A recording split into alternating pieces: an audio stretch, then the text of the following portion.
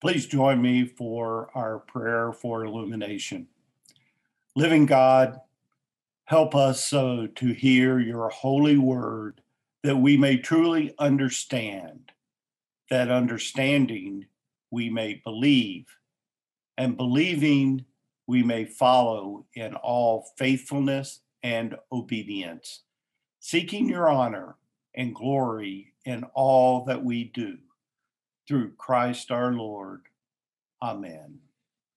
Our first reading today comes from the book of Philemon, the first chapter, verses 8 through 19. I will be reading from the New Revised Standard Version.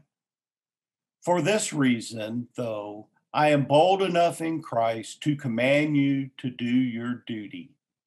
Yet I would rather appeal to you on the basis of love and I, Paul, do this as an old man, and now also as a prisoner of Christ Jesus. I am appealing to you for my child, Onesimus, whose father I have become during my imprisonment.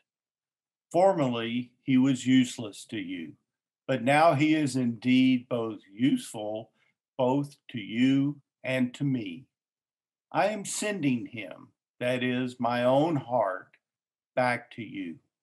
I wanted to keep him with me so that he might be of service to me in your place during my imprisonment for the gospel.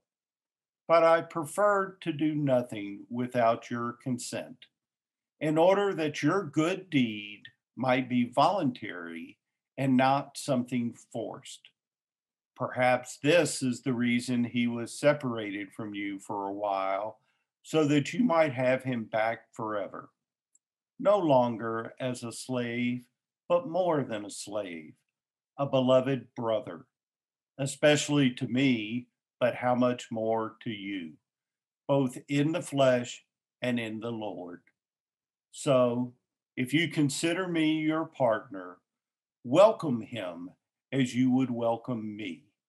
If he has wronged you in any way or owes you anything, charge that to my account.